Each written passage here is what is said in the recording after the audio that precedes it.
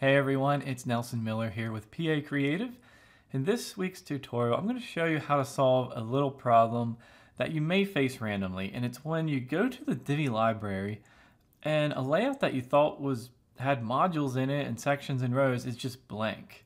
This has been happening lately to me and I've noticed some posts about it, so I wanted to show you a really quick, simple solution for it in case you face this. My problem is it's a it's going to be hard to show you because it, it's not happening to me right now, but I will replicate it and I'll show you like what it does. And, and it's a really simple solution. So the problem is like this, all right, check this screenshot.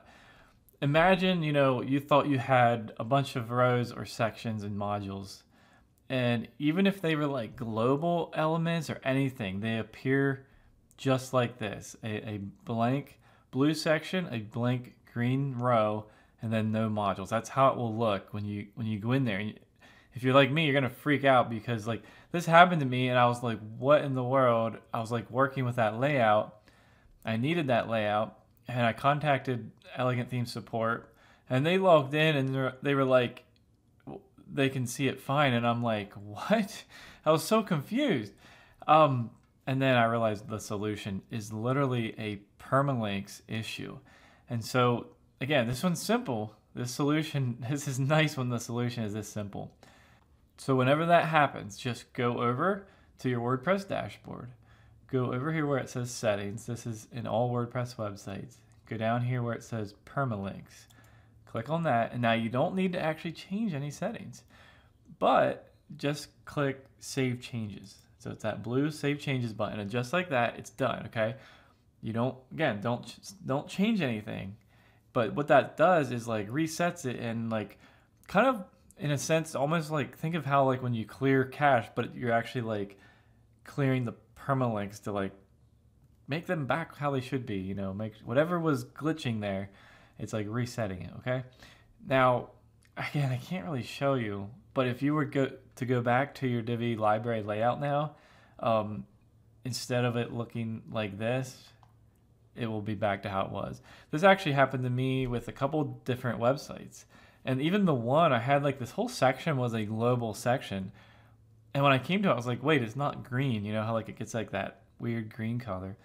It wasn't even that, but as soon as I saved permalinks, this this was the solution on every site that happened to me, and also I saw people online.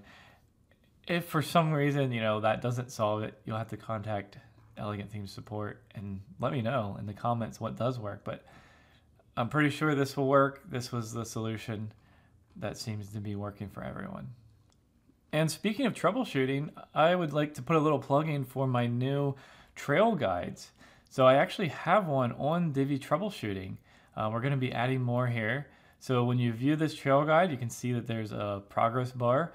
So in this Divi troubleshooting one, um, it'll explain you know what you're going to learn, and then you scroll down and there's uh, kind of an overview of what this lesson will be. And in each one, there's a number, and then you can mark it as completed or bookmark it or go read that post. And then you just keep going. You know, here's different things that you can fix. Um, here's some tutorials about cache.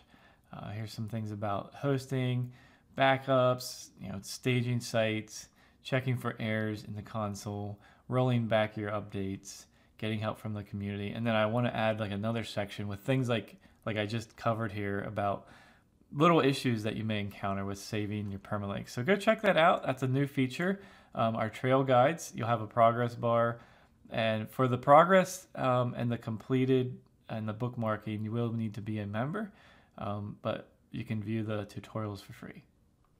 All right, hope that helped. And if it did help you, if you were facing this issue, well, let me know by giving me a thumbs up.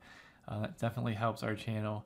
And yeah, if there's any other uh, solution that worked for you that, that I didn't mention, um, just leave me a comment and help everyone else. All right, we'll see you all in our next video.